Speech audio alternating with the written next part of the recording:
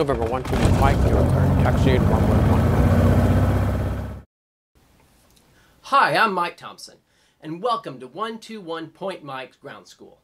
In this video, I'm going to explain the Automated Terminal Information Service, or ATIS.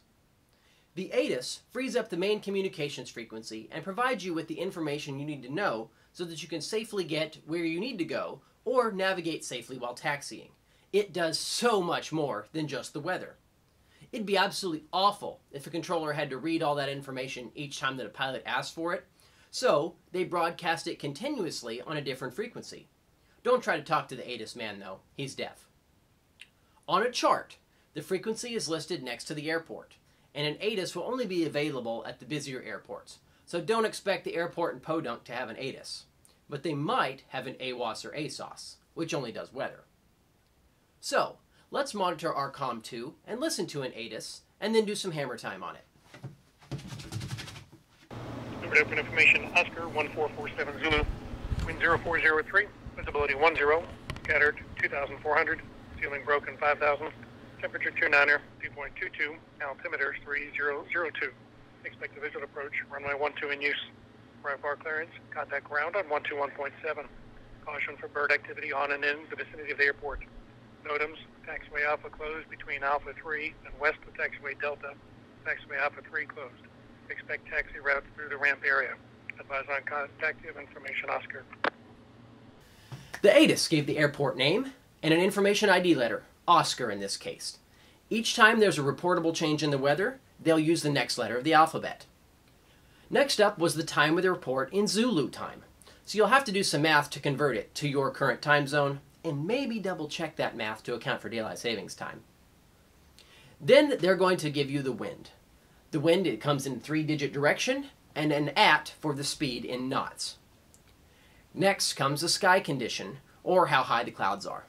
Now, cloud heights are reported in height above the ground, not mean sea level. If there are several cloud layers, they might give you each of their heights and specify the amount of coverage.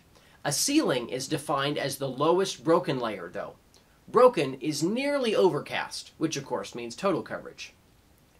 Then they'll tell you how far you can see. And this figure is reported in statute miles, not nautical ones. Or it might be given as a runway visual range if the visibility is restricted. Of course, if it's an RVR, though, you VFR pilots won't be flying. Now, they'll give you the temperature and dew point in degrees Celsius or centigrade.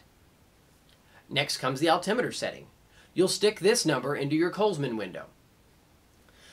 Lastly, all the important safety and info and instructions and other things, all the stuff in addition to the weather will be last.